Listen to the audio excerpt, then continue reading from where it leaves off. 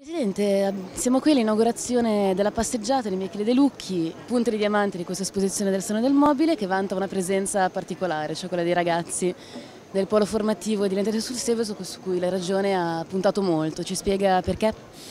Beh, eh, puntare sui giovani vuol dire puntare sul futuro, puntare sul mantenimento tra della tradizione, della grande tradizione eh, artigiana di eccellenza della Lombardia e quindi era un investimento giusto da fare.